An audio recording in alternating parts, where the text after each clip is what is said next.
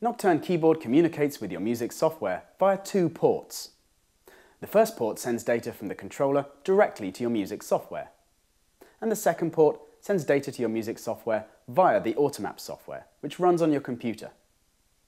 The keyboard keys and pitch wheel always use the first port, whereas the assignable controls use either one or the other, which is selected automatically according to how they're assigned.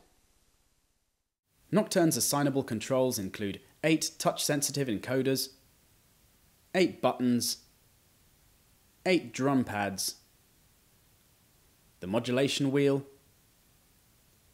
and optional sustain and expression pedals, such as Novation's own NSP1, that can be connected to the rear panel. Additionally, Nocturn keyboard's transport controls can be switched to become six more freely assignable buttons if you don't wish to control the transport.